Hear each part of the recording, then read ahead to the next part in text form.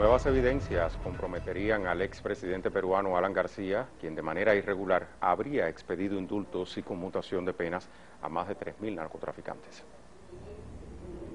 En este video que circula en las redes sociales se aprecia al exministro de Justicia Aurelio Pastor al interior de una cárcel ofreciendo a internos la gracia presidencial que les daría libertad antes que se cumpla su condena.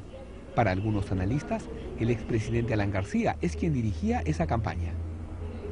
Además es el que finalmente eh, revisaba, él lo ha manifestado de manera personal en su condición de abogado, cada uno de los expedientes, y es evidente que eh, esta política sostenida de conmutaciones de pena e indultos a narcos, cuando además no le correspondía, que tiene aparejada el, pago de, retribuciones por, por, las gracias presidenciales, involucra necesariamente al expresidente García. El caso ya es investigado por la justicia peruana, pero solo involucra a funcionarios de la Comisión de Gracias Presidenciales, cuyo titular fue detenido. Con las nuevas evidencias también deberían responder el exmandatario y sus ministros. La Constitución da un mandato muy claro. En su artículo 8 se señala que el Estado combate el narcotráfico, combate el tráfico listo de drogas, y aquí lo que ha habido es una política que en una dirección contraria.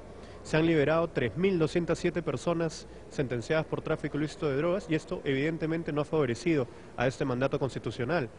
Pero también tenemos que ver si es que se conformó eh, una red Residentes limeños no creen la versión de García Pérez, quien asegura no sabía de la corrupción generada alrededor de los denominados narcoindultos. Si bien es cierto, el presidente ve todo, macro de un país, pero también tiene que saber qué cosas hacen sus ministros. Por supuesto, él está, no solamente este, involucrado, es responsable.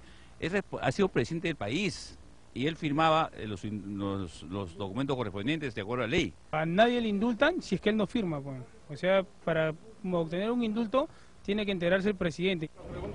La Comisión de Legislativo que investiga las presuntas irregularidades del gobierno de Alan García entre 2006 y 2011 deberá emitir su informe final dentro de un mes, informe en el que podrá solicitar la inhabilitación del exmandatario para próximos procesos electorales. Jaime Herrera, Telesur, Lima, Perú.